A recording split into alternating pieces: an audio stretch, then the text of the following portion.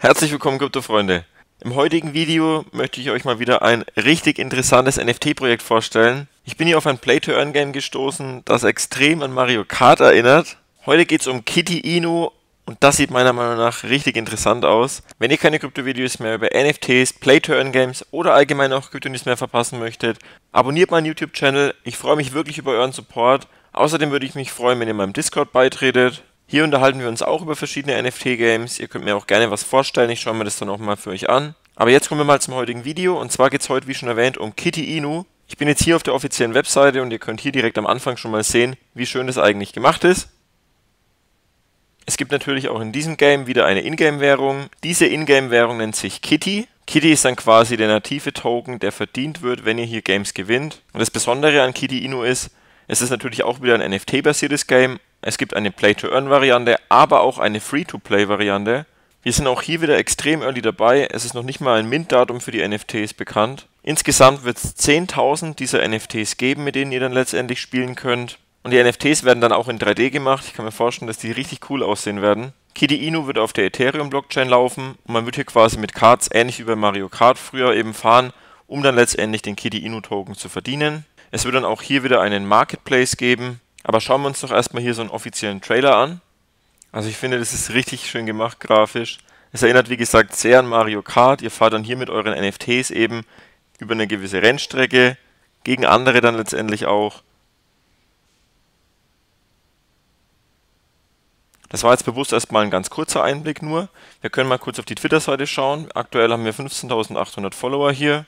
Und ihr könnt jetzt hier auch mal sehen, wenn ihr hier mal weiter scrollt, da könnt ihr auch nochmal zum Beispiel eine andere Map sehen, könnt euch mal in Ruhe anschauen, wenn ihr Interesse habt. Was auch sehr interessant ist, die Beta wird momentan getestet. Oder hier könnt ihr zum Beispiel so einen kleinen Sneak Peek sehen. Das ist dann wieder eine andere Karte, auf der man fahren kann. Also schaut euch ruhig auch mal die Twitter-Seite an. Ich verlinke es euch wie immer in der Videobeschreibung. Hier sind echt auch einige interessante Infos dabei. Hier bin ich jetzt im offiziellen Discord von Kidi Inu. Ihr könnt jetzt hier sehen, diese Meldung kam beispielsweise erst heute Nacht um 0.29 Uhr. Hier kam eben die Info, dass diese 10.000 NFT-Avatare demnächst rausgegeben werden. Natürlich wird es auch hier wieder eine Whitelist geben. Der Stand von letzter Nacht war wohl, dass es ungefähr 245 Dollar sind, die momentan investiert sein müssen, damit man unter den ersten 3000 Haltern ist, die eben am meisten von diesen Token halten. An dieser Stelle vielleicht auch nochmal, tretet gerne auch meinem CryptoMeCash Discord bei. Wir werden uns mit Sicherheit auch in naher Zukunft über dieses Projekt noch weiter unterhalten. Aber jetzt gehen wir mal wieder zurück auf die Webseite von Kitty Inu. Wir können uns hier jetzt mal die Tokenverteilung anschauen. Und zwar werden 46% für die dezentrale Börsenliquidität zurückgehalten. Der Kitty-Token ist derzeit sowohl bei Uniswap als auch bei PancakeSwap erhältlich. Wir schauen uns jetzt erstmal an, was kostet momentan überhaupt so ein Kitty Inu Token. Ich habe den uns bei CoinMarketCap mal rausgesucht. Aktuell kostet ein Token 0,0002396 Dollar. Im 24-Stunden-Chart sehen wir gerade einen Anstieg von 6,85%. Und wenn wir jetzt hier mal schauen, der Token wurde tatsächlich schon am 25.10. gelistet. Das ist eine ganz normale Phase, wenn ein Token neu auf den Markt kommt. Hier findet dann auch einfach wieder ein enormer Abverkauf statt. Meine Einschätzung ist es, dass der Token jetzt erstmal stabil bleiben wird für eine Zeit lang. Und wenn dann richtig gute News kommen, wie beispielsweise die NFT-Kollektion, ein genaues Datum auch, dann wird der Token letztendlich auch wieder nach oben schießen. Davon gehe ich zumindest aus. Natürlich kommt es dann hier auch enorm auf die Arbeit vom Team an. Aber was ich so bis jetzt sehe, gefällt mir das Ganze richtig gut. Hier steckt richtig viel Liebe im Detail drin und für solche Projekte interessieren wir uns doch alle. Hier habe ich jetzt auch mal noch PancakeSwap geöffnet. Ihr könnt dann hier diesen Token, wie gesagt, erwerben. Tauscht einfach die Währung, die ihr dann in eurer Metamask habt, gegen diesen Kitty-Token und dann habt ihr ihn in eurer Wallet.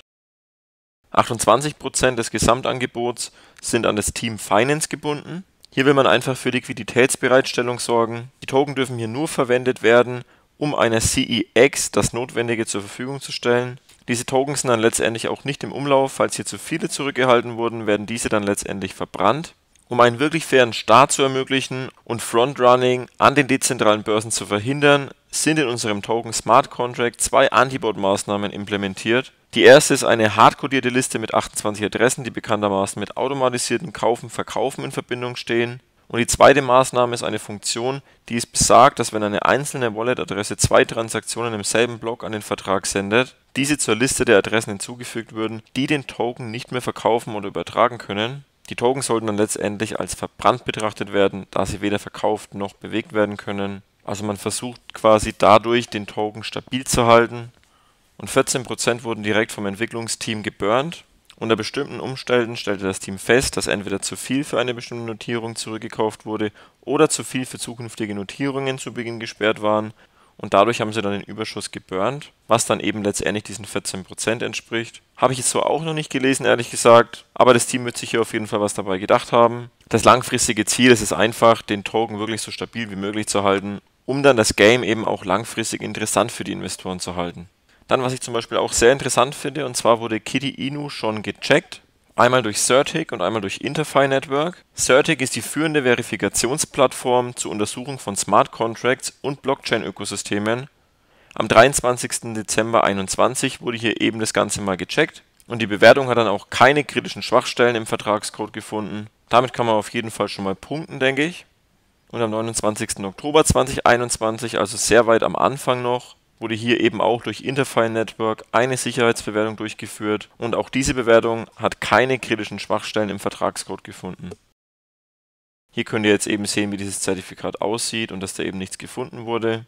Dann schauen wir uns als nächstes mal die Roadmap an. Und zwar sind wir hier schon relativ weit. Wir befinden uns aktuell in Phase 4. Diese drei Phasen sind eben zu 100% abgeschlossen, wie hier auch schön dargestellt ist. Über 30 Millionen Marktkapitalisierung wurde auch schon erreicht. In Phase 4 soll jetzt dann eben auch der KittyCard Start kommen. Also das Game soll letztendlich releasen. Es wird eine Marktkapitalisierung von über 300 Millionen angepeilt. Es soll eine große Influencer-Werbung auch geben. Also klingt auf jeden Fall richtig interessant. Ich denke, dass hier wirklich auch gute Arbeit geleistet wird. Das Trading-Volumen der letzten 24 Stunden lag beispielsweise bei 87.000 Dollar circa. Man darf natürlich nicht vergessen, der Token ist noch extrem unbekannt. Aber ich kann mir wirklich gut vorstellen, dass das Projekt wirklich auch wachsen wird noch. Spätestens, wenn dann wirklich auch die NFTs kommen und das Game dann released werden einige darauf aufmerksam werden. Ich denke, jeder von uns hat gerne früher Mario Kart gespielt. Wenn man jetzt auch noch Geld damit verdienen kann, wäre das natürlich klasse. Einige Partner sind natürlich hier auch schon an Bord. Und hier könnt ihr jetzt noch einige News über Kitty Inu lesen, direkt auf der Webseite.